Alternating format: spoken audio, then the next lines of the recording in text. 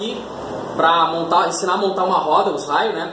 Pegamos uma trina para pegar uma, uma, uma medição, uma medida referência. O aro 26 1.9 tem 57 centímetros. Peguei só para dar uma referência, tá? O que acontece é o seguinte, ó. O aro aero 26 1.9, o, o raio é 25 centímetros, ou seja, 250 milímetros.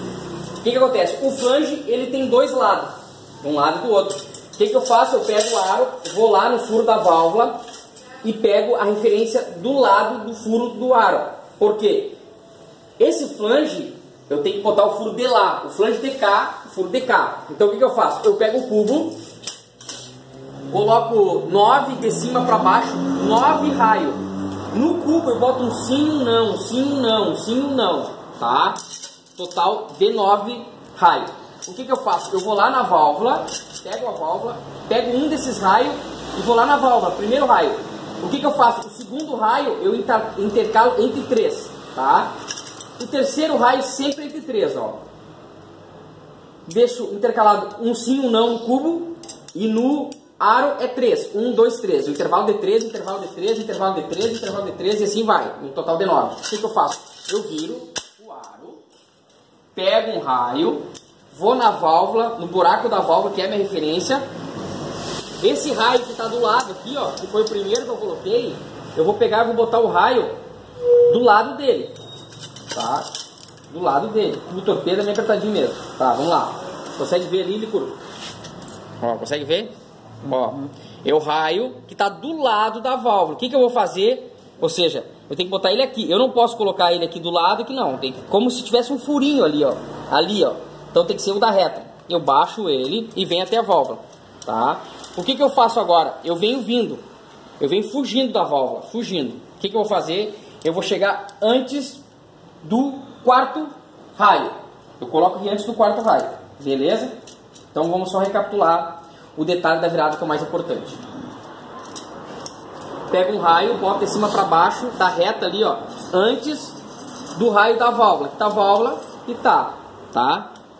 Ali tá o furinho, ó, como se tivesse um furinho aqui. Tu analisar, ele tá aqui, ó. O que que te faz? Vem, vem puxando ele, passa um, passa dois, passa três, bota antes do quarto. Vamos lá agora. Como já colocamos um, só falta oito raios. Vamos colocar de cima para baixo os oito que restam. Um sim um não. Sempre lembrando no cubo um sim um não. Um sim um não. Tá? Um sim, um não. Um sim, um não. Olha esse vídeo aqui, né, pessoal? Porque o pessoal tem muita dificuldade em aprender isso aqui. Eu, pra mim, isso aqui é coisa de criança. Já fiz.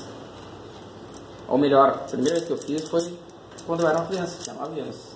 Demorei três dias para montar e a mãe disse assim pra mim, se tu não montar tu vai apanhar. Então eu tinha um bom motivo para montar aquilo. Vamos lá. E aí sempre assim, pessoal.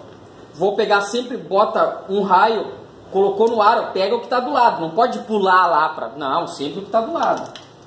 Na sequência, tá? Ó. Sempre atrás de um aqui, ó. Esse aqui, ó. Lá.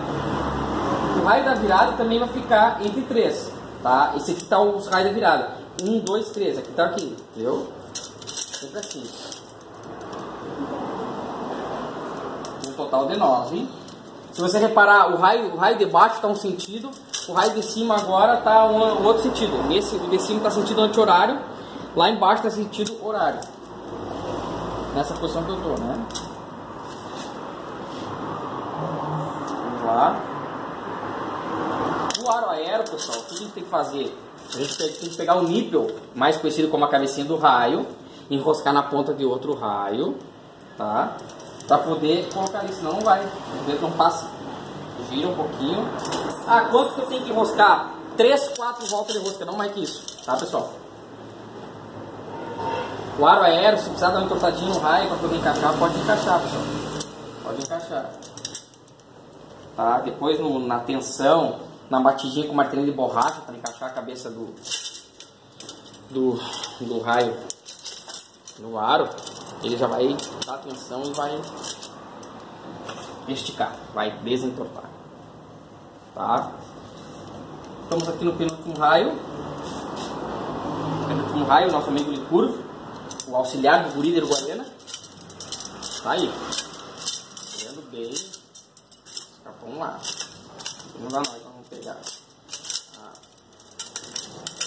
Não dá nada, a gente já vai botar de volta. Eu vou escapa, tu vai lá e volta de novo. Vamos lá. Tá, pessoal. Aqui dá pra fazer até uma coisinha melhor aqui pra enroscar esse raio aqui. Eu não preciso muito dessas coisas.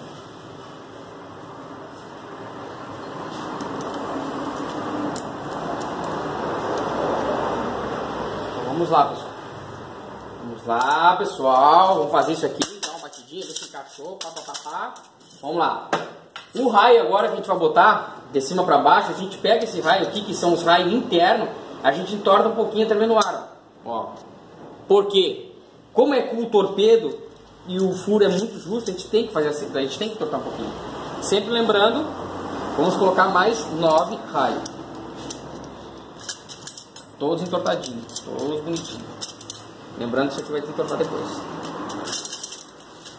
Ó, o torpedo é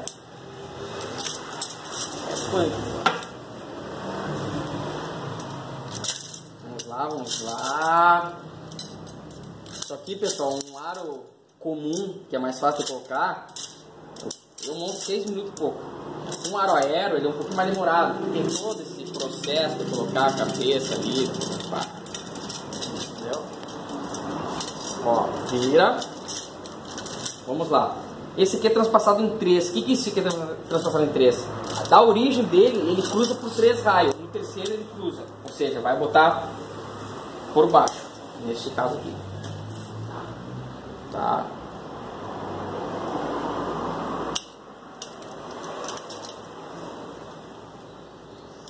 Botou o primeiro, já vai pro segundo. Não pode pular. Ó, primeiro já vai pro segundo, já coloca o terceiro e vai cruzando. Tá? E quando pode dar um pause aí que agora é só ir a sequência, entendeu? Uhum. Segue o baile, pode acabar aí.